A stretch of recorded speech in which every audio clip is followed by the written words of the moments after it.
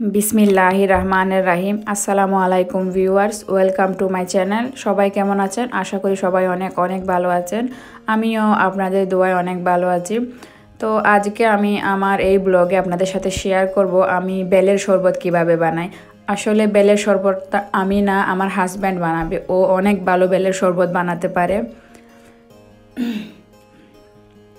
তো বেলের শরবত বানানোর জন্য আমার হাজব্যান্ড একটা পাকা বেলকে ছুরি দিয়ে ভেঙে বেলের ভিতরে যে শ্বাস বা কাত আছে সেগুলা বের করে নিয়েছে। আপনারা দেখতে পাচ্ছেন বেলের স্কিনগুলা, বেলটা অনেক বড় ছিল। এই চামচটা দিয়ে সে কাত বা শ্বাসগুলা বের করে নিয়েছে। শ্বাসগুলা বের করে সে এগুলা পনেরো মিনিট পানি দিয়ে ভিজিয়ে রেখেছিল যাতে এগুলা নরম হয়ে যায়। তো পনেরো মিনিট ভিজিয়ে রাখার পর সে এগুলা হাত দিয়ে পাঁচ দশ মিনিটের মতো একটু কষলে নিয়েছিল যাতে বেল থেকে কাঠগুলা বা রসগুলো আলাদা করতে সুবিধা হয়। আপনারা দেখতে পাচ্ছেন সে একটা চালুনি দিয়ে বেলের বেল থেকে যে বেলের রসগুলো আলাদা করে নিচ্ছে। সে হাত দিয়ে একটু চেপে চেপে ভালো মতো শ্বাসগুলা, শ্বাস থেকে রসগুলো আলাদা করার চেষ্টা করছে।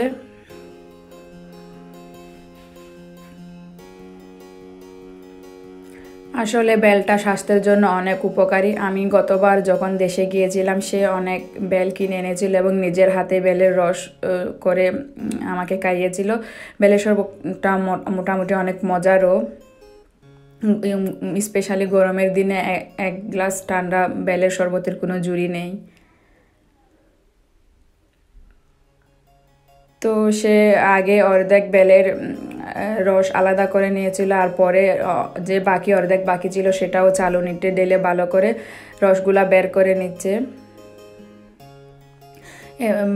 বেলের শ্বাসগুলাতে অনেক আঁশ বা বিচি থাকে তো এগুলা ভালো মতো আলাদা না করলে বেলের শরবতটা তিতা হয়ে যাওয়ার সম্ভাবনা থাকে। তো আপনারা দেখতে পাচ্ছেন সে এখানে বিচি আর আঁশগুলো আলাদা করে নিয়েছে।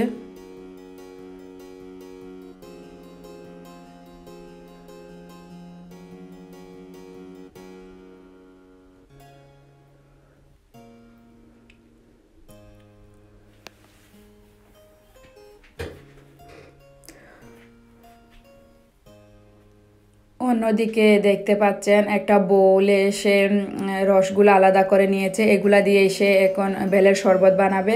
বেলের শরবত বানানোর জন্য সে রসগুলাকে একটা ব্লেন্ডার কাপে নিয়ে নিয়েছে আর দিয়েছে তিন টেবিল চামচের মতো চিনি। আর দিবে একটু চাট মশলা, এক চামচের মতো আমি কিছু আইস কিউব আর দুধও দিব পরে। এটা বেলের শরবতের থিকনেসটা যে যেরকম পছন্দ করে, কেউ পাতলা পছন্দ করে, কেউ ঘন পছন্দ করে, তো আমি একটু ঘন বানাবো। ও যে ও ঘন বানাচ্ছে। এক চামচের মতো চাট মশলা, ও দিয়ে দিয়েছে, আপনারা দেখতে পাচ্ছেন। এদিকে আমি তিন চার টুকরা আইস কিউব নিয়েছি, সেগুলাও বেলের শরবতের মধ্যে দিয়ে দিচ্ছে।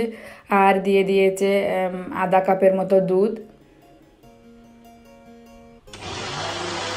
এগুলা সে এখন ব্লেন্ড করে নিচ্ছে। তো বেলের শরবত রেডি হয়ে গিয়েছে অনেক মজা হয়েছে। এই গ্লাসটা সে আমাকে দিয়েছে আমার জন্য। আশা করি সবাই অনেক পছন্দ করেছেন আজকের ভিডিওটা। সবাই অনেক অনেক দোয়া করবেন। আল্লাহ হাফেজ।